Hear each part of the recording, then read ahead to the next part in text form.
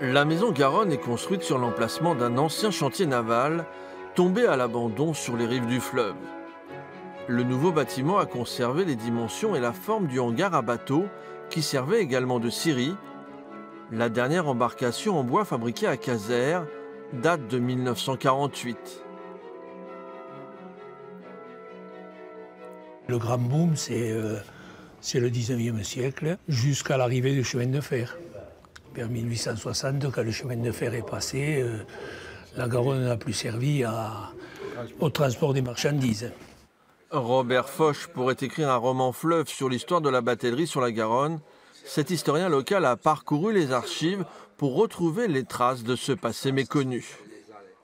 Il devait y avoir une centaine de personnes, entre ce qu'on appelait les bateliers, les radeliers, les tireurs de barques, les pêcheurs, parce qu'on pêchait aussi beaucoup, il y avait du poisson à l'époque. L'un des rares vestiges est présenté dans la salle d'exposition, le gabarit d'une sapine.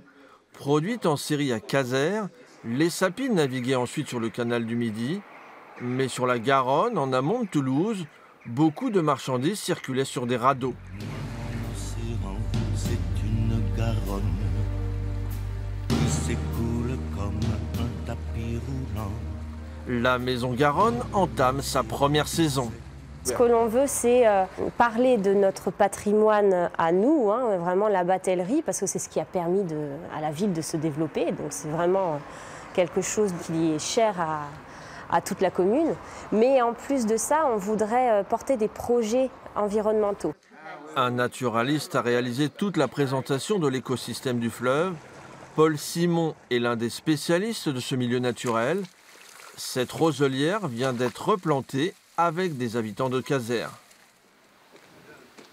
Aujourd'hui, c'est la Garonne, on la redécouvre, no- notamment son patrimoine naturel et des sites comme euh, la, la Roselière. Ça, c'est un, spot de biodiversité. Aussi, c'est un espace à voir et qui est euh, commenté dans la, dans la maison Garonne.